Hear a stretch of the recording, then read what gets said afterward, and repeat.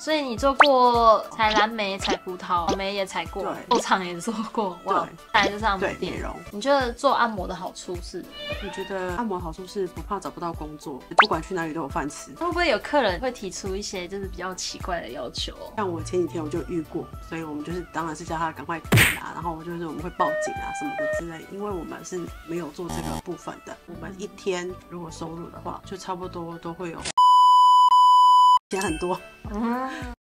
嗨，大家好！今天呢，我找了一个朋友，可以麻烦你介绍一下你自己吗？Hello，大家好，我是 Queenie。我之前呢有一阵子住在墨尔本 CBD 的背包客栈，然后我们在呃公共厕所浴室那边遇到，然后我那时候就好奇，我问你哪里来的对吗？对，对，然后我们就认识了，发现他也是台湾人，现在嫁在澳洲，然后已经生活了差不多五六年。哇，真的很久了。好，那我们今天就是想要听他分享一下他这边的生活还有工作究竟是如何这样。那第一个就是我想要问一下，你来澳洲六年了，那你之前待过什么地方？一开始来的时候是待布里斯本，然后后来就跟朋友去采蓝莓，然后采完蓝莓之后，我就去黄金海岸那边，对，然后又去黄金海岸那边之后，又认识其他朋友，然后因为我那时候还有回台湾一趟，然后回来，然后又住在那个布里斯本市区，那时候也是住在像背包客栈的地方，然后认识其他朋友之后，我们就一起讨论说我们要去哪个地方，然后那时候就决定来墨本。所以就来墨本之后，然后遇上了疫情。疫情之后呢，就墨尔本毕竟说实在也没有什么地方可以工作嘛，我就跟我朋友想说，那不然还有哪个地方可以去？所以我们就想说去农场，所以我们就是去一个葡萄的大镇，叫做米杜拉，所以我们那时候就去了米杜拉那个地方。对。那你跟你老公也是在米杜拉认识的吗？对，没错，哦，嗯嗯，那你真的很特别的缘分哎。对，蛮特别的，我觉得。嗯，所以你做过采蓝莓、采葡萄，采蓝莓、采葡萄、哦，好像草莓也有，草莓也采过，对，然后肉肠也做过，肉肠也做过，哇对，，然后就是再来就是按摩，再来就是按摩对，美店。容，我今天来给你按摩，我觉得很舒服哎。谢谢。对啊，身心舒畅。那这一间是你第一个按摩店吗？不是，哦，之前也有做过。对，之前就是在农场的时候，我就是也是有在按摩店做过。哦对，对对，就是因为农场的时间比较短嘛，那相对来说有时候可能赚的也没有很多，因为刚来背包客，所以就想说那可以多学一点技能。嗯对，所以就想说那就来做按摩试试看。哦没，想到懂，就嗯一系就觉得哎、好像按摩很棒。合这样。对对对，因为就是不管你在哪里，你只要有这个技能，其实我觉得都不怕找不到工作。我今天比较好奇，就是想问说，你觉得做按摩的好处是我觉得按摩好处是不怕找不到工作，不怕找不到工作？。对，然后就是不管去哪里都有饭吃。哦对，OK 因 OK，因为其实现在按摩业就是自从疫情过后嘛，其实现在开始就慢慢在恢复了，所以其实现在按摩行业我觉得都蛮需要各方面的按摩师。嗯所以我觉得如果我真的有考虑有想要一技之长的，我觉得按摩其实是蛮不错的选择。嗯。那按摩会不会有一天就是没有客人，然后就没有收入？会这样也？也是有，也是有。通常按摩都不太会没有客人，我很少遇过没有客人的。我们一天如果收入的话，就差不多都会有两三百块吧。哦，客人也都是蛮多的。对，嗯我觉得按摩的时间会比较弹性一点。比如说你在那个药局上班，就是一天，比如说八个小时，你就被绑在那边，然后你可能剩下一个小时就吃饭或什么休息。对，那我们就比较弹性。如果没有客人的话，我就可以去买咖啡啦，或是买午餐啦，或者是做我自己想做的事情。所以我觉得，如果你想要有弹性一点的工作，或是想要比较舒服一点的工作，我是觉得按摩是可以考虑。那你觉得坏处是什么？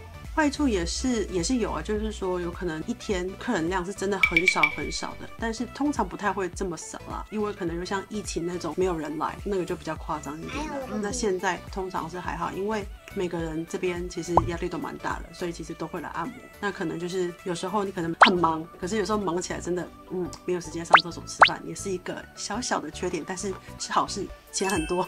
嗯，对做按摩好处就是弹性嘛，对坏处就是没时间吃饭。对，有时时候对有时候 OK，OK 对。那会不会有客人会提出一些就是比较奇怪的要求，或者是一些比较嗯色情？呃，有一些会，对对，像我前几天我就遇过，所以我们就是当然是叫他赶快停啊，然后我就是我们会报警啊什么的之类，因为我们是没有做这个部分的，其他地方我们不知道，但是我们是不会有。我还有一个蛮特别的客人，他是说问我可不可以用那个指甲去帮他这样子抓，然后就是帮他这样按，然后也是蛮特别的，他比较喜欢就是这种感觉，就 抓这样抓肩膀吗？就是抓身体啊，哦就是有点像是这样子抓那的，对这。样的要求你们会答应吗？就是他付钱，他付钱就可以啊，就是我也不用那个，就这样抓他就好了。因为有些人他就是想要来放松，比如说可能就是有些客人他就很想要很轻很轻的，对你就一样就给他摸一摸这样子。他如果觉得他很痛，然后不想要就是很大力，可是他想要让他的肌肉比较舒缓的，那我们可以帮他做个放松的，然后我们可以帮他做拉伸。我们不光是只有按摩，我们可以做一些拉伸的动作。拉完之后，他的那个身体肌肉可能会比较放松一点，他会觉得说这样会比较舒服。嗯，嗯懂。那来这边就是按摩的话，嗯就是要被训练多久才能够当一个按摩模式。我觉得不一定，我就要看个人，因为像我那时候没有到训练很久，我那时候一开始去按摩店的时候，他就叫我马上去做客人的脚，然后我就觉得哇这么厉害哦，我就我还没有训练哦，他就叫我去做客人的脚，做完客人也是很满意啦，因为我自己在台湾我也是很常去找人家按摩，所以我大概都知道。后来我就是边做然后边学，边做边学，所以其实我是觉得还可以，但是有些比如说你要训练大概差不多一两个礼拜，那就是看每一间店，然后就看你自己的手法，然后看你自己有没有办法去融会贯通。了解。对那需要证照吗？我们这边有一些部分的话是，如果你要开保险的话，我们是需要证照的。那通常一般的我们这些按摩师的话是没有什么证照。那如果你有开一些保险，那个部分的话，我们就是需要有证照的按摩技师去做。嗯，对，因为我看过那个来澳洲工作的人，他们都会在脸书就是找按摩店的工作。那除了那边之外，还有什么管道你推荐？除了脸书就是 Stick 啊之类的吗？Sick 好像不太会有哎、因为有一些的话，他们是比较属于那种像澳洲人，他们是那种 SPA 的那种，但是那种前提是你英文要非常的好，然后加上你有这个部分的专业，然后还有加上你有一些 SPA 或者是一些那种按摩的证书，那个你才有办法去到像澳洲人那种的那种 SPA 店这样子。那不然的话，还有什么管道？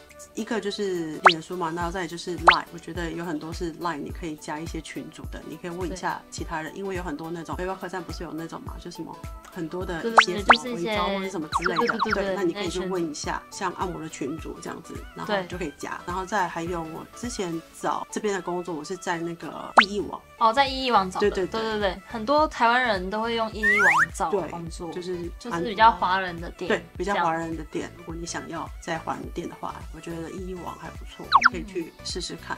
啊。谢谢你对按摩店的分享。好，我想问，就是你嫁澳洲人这一点，就是你觉得有什么新的体验吗？本身澳洲的一些文化跟台湾就很多都不一样，就是生活上面的啦，然后还有一些婆媳啊，或者是一些之类的，我觉得都蛮多不一样的，就是相处方式相处，对对对，因为那你跟这边老公的爸爸妈妈是怎么样相处？很平辈吗？对，就算是平辈，我觉得就像朋友、西方文欸化的比较都是比较平辈。，对，那我就想问，就是之前你为什么会想要继续待在澳洲？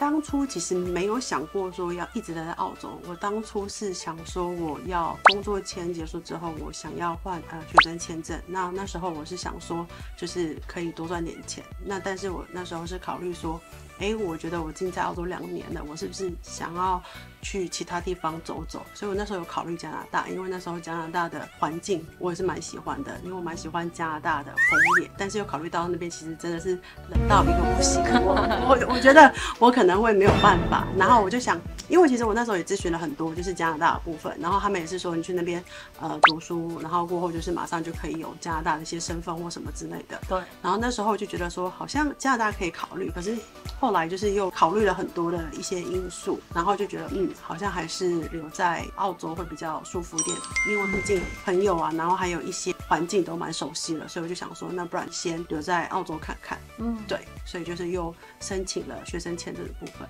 嗯了解。后来就没去加拿大了，然后也嫁澳洲人了，对，就是 整个就在这边定居了。对，就是缘分。嗯，哇，好酷哦！对啊，然后我也很开心认识你，对，真的，来给按摩之外，又可以借采访一下。对。OK，最后就是有没有什么话，就是想要跟想要来澳洲的朋友说？我觉得现在很多年轻人都会考虑很多，然后会想很多。我知道这是正常的，但是我觉得如果你真的有很想要来让自己的人生变得不一样，我真的觉得很欢迎你们可以走出自己想要的路，可以来澳洲试试看。对，哪怕只是来体验个一个月，你觉得很不舒服，那你都可以回去。因为我有认识的也是才来一个礼拜，他就觉得不舒服，不是他想要的。但是我觉得至少你有勇气去走出你的舒适圈，我觉得这个是很棒的。所以如果真的想要来澳洲的话，我会很鼓励你们可以多走出来。对，耶！棒，谢谢 Queenie，谢。谢，那我们今天访谈就到这边喽，可以谢谢大家的收看，对，拜拜，拜拜。盖盖啊，对，是盖这里。对，我想说你盖那里。对。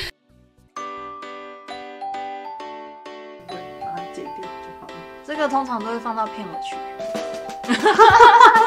对，就是就是很剪辑一些小片段，对。因为我头发这样可以吗？还是可以，还是还是会我觉得很好。